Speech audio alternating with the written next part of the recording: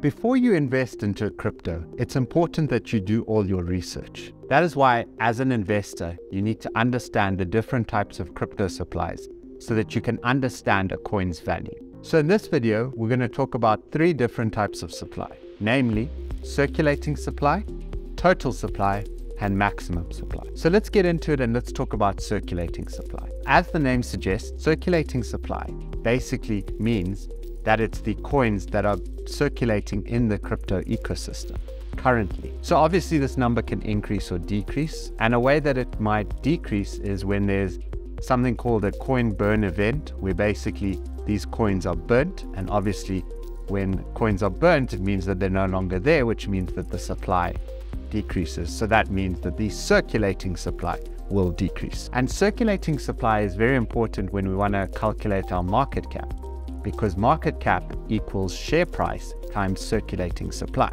So that, let me give you an example to illustrate this. So let's use a random coin and let's call it YouTube coin, right? So YouTube coin, let's say that it has a circulating supply of 1 million tokens and its share price or whatever current price is $1. So the way we would calculate market cap is we'd say market cap equals $1, which is the price, times my million coins. So my market cap would be $1 million.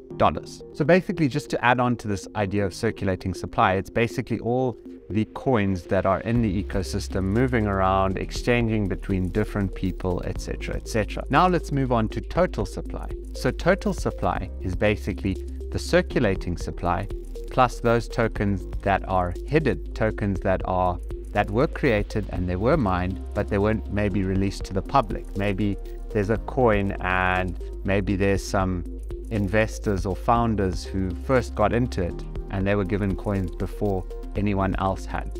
So the total supply equals the circulating supply that is all the coins that we have access to as individual retailers, as well as those tokens that are hidden and they were obviously created in mined, but they're not available to us currently. So what you've got to realize is that the total sum of the value of the total supply can then end up going into the circulating supply.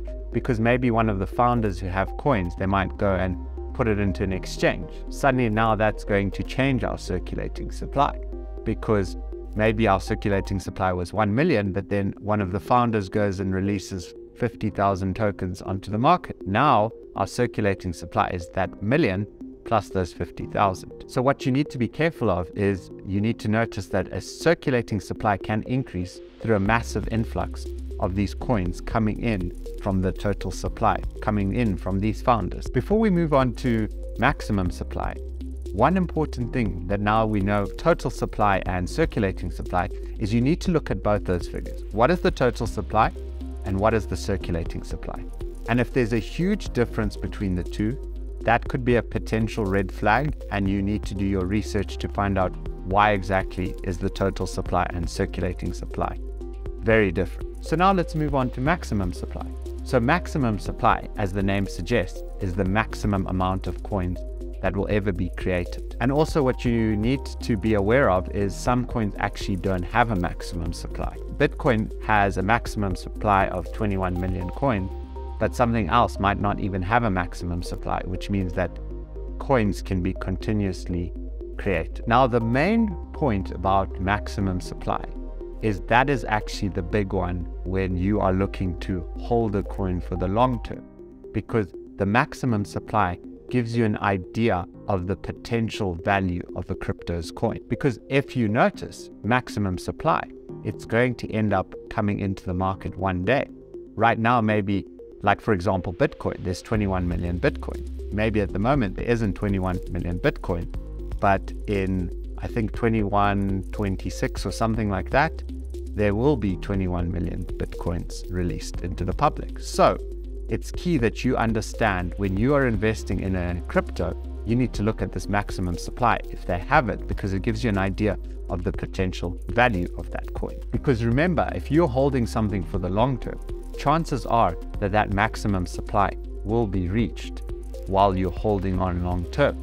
Obviously, as we're talking, you're not going to live until 21, 26. Okay, maybe some of you might. You might have some weird special health things, but most of us who are holding Bitcoin won't be here when the full 21 million Bitcoins are released. What you also need to look at and be wary of is the difference between the circulating supply and the maximum supply.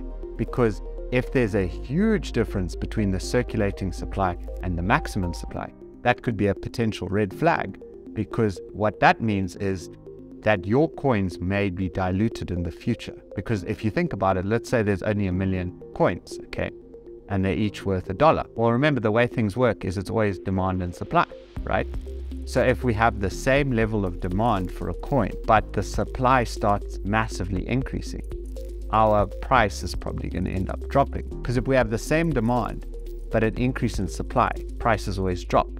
And the only way prices increase is if we reduce the supply and keep the demand, or if we have the same supply and we increase the demand. So the more tokens there are available, it means that it's going to dilute the share price of our token. Maybe we had it at $10 and now suddenly it's dropped to $1 because there's so many coins and the demand's still the same. Obviously, if you're a short-term holder of these coins and you're just doing a little bit of day trading, then the maximum supply doesn't really matter to you but obviously, you should take into account and think about when are these coins going to be released or look into it because maybe while you're day trading, maybe those coins might hit the market on that specific day that you trade, and then now you lose your position. So you don't really have to worry as much as a long term holder, but sometimes, you know, you got to sort of know the news events of the crypto that you're trading. Overall, long-term holders need to really take into account and look at this maximum supply, circulating supply, total supply, because it's very important for our investing decisions so we can understand what is the potential value of a coin. So yeah, that's the end of the video. Thank you so much for watching and I'll see you in the next one.